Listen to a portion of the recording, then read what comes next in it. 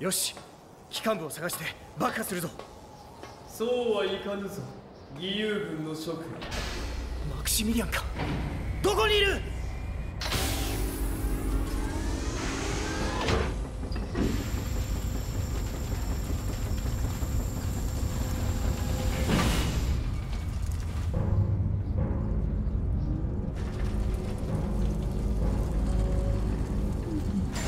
帝国の技術の粋をもって作り上げたこの人造のバルキュリアの盾と槍その力を諸君らにお見せすることにしよう。もうやめて！なぜそこまでして戦う必要がある己の野望のため。男が戦う理由として十分と言えぬか。それに世は帝国に復讐しなければならない復讐？世は帝国の王子として生まれたが母の身分が低いがため父の皇帝に疎んじられた。さらに皇位継承を狙う他の王子に警戒され幼少時に乗っていた列車を爆破された。世は奇跡的に命を取り留めたが母をはじめ多くの者が一瞬にして爆死した。その時世は誓ったのだ。いずれ帝国とその皇帝の位を奪い取ると。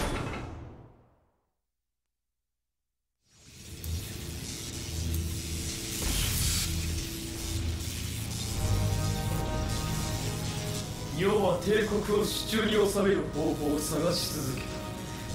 そしてついにそれを見つけたのだ。それがバルキュリアの力だというのか。兵士が戦場で銃弾を交わしながら戦う戦争はいずれ終わりを告げるだろう絶対的な大量破壊兵器バルキリアの力を持つ者こそが歴史を前進させる権利を持つのだ行くぞ義勇軍たちよ世の戦いはまだ終わってはいない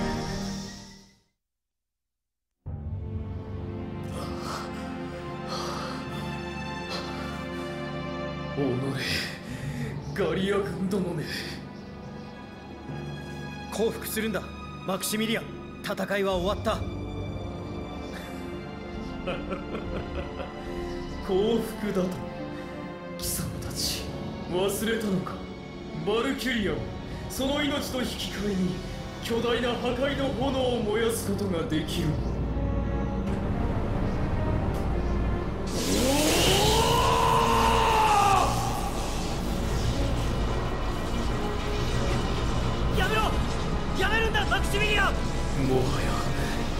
望みは叶わぬ。ならば。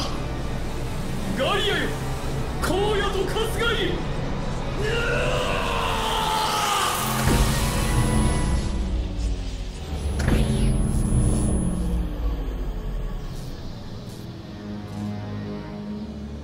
な、なんだ？なぜ止まったのだ？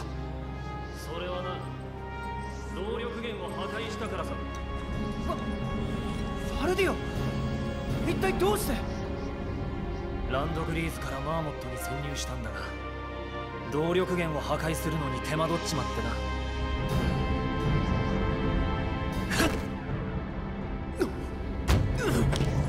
貴様何をする？話せ！すまんが話すわけにはいかない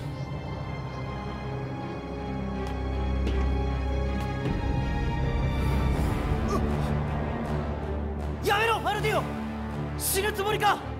ファルディオ危ない！ベルキアリシア。理由はどうあれ？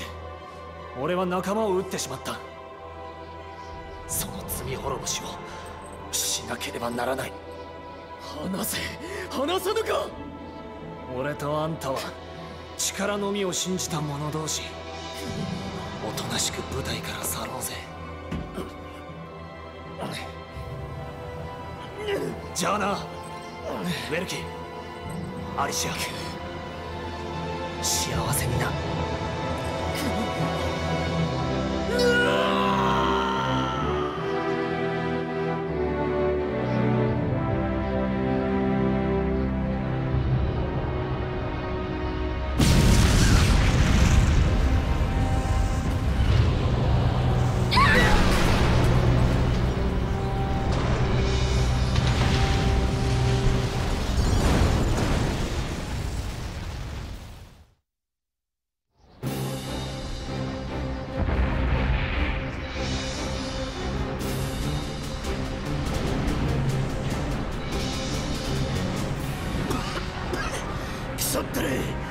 長たちが取り残されちまった隊長アリシア大丈夫か？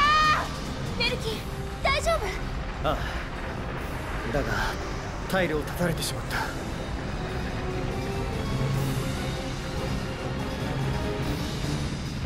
甲板は火の海だ。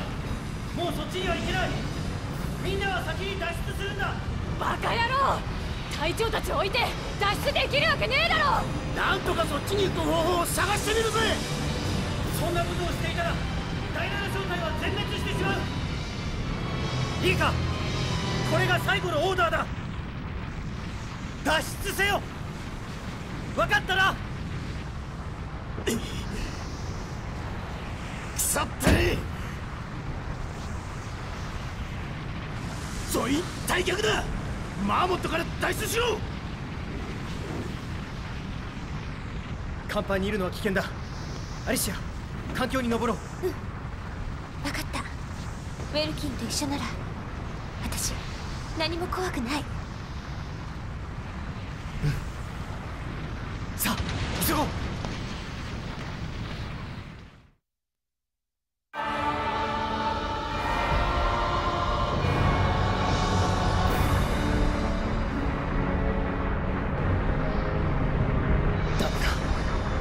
脱出する方法がない。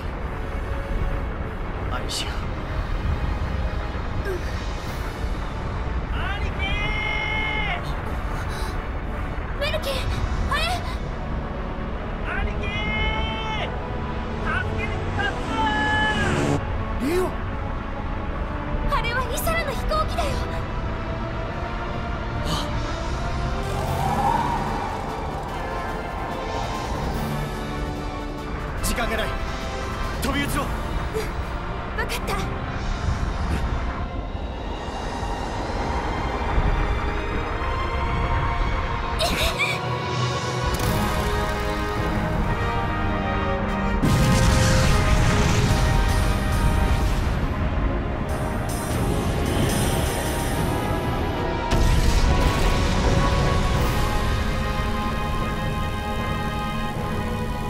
兄貴間一髪でしたね。リオン一体いつの間に飛行機を完成させてたんだ？イサナさんが死んだ後もオイラやクライスそれに正体のみんなで少しずつ作業してたんす。イサナさんの夢をいつかきっと叶えようってね。そうだったのか。イサラ僕とお前の夢をみんなが受け継いで叶えてくれたよ。ウェルキンさて兄貴どこまで飛びますか？海の向こうだって行けるっすよ。帰ろう。僕たちのふるさとへ。みんなが待っている。ガリアの大地へ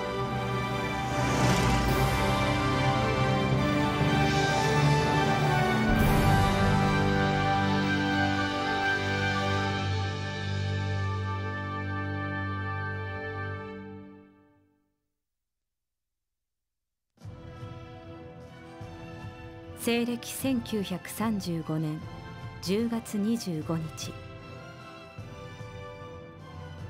ガリア方面軍総司令官マクシミリアンの戦死を受けガリアと帝国の間に休戦協定が締結された。7ヶ月余りに及んだ戦いは幕を閉じガリアの地には再び平穏が訪れた。ガリア義勇軍第七小隊は終戦と同時に解散。隊員は各々の道を歩み始めた。最後に彼らの戦いの足跡を記して私はここにペンを置く。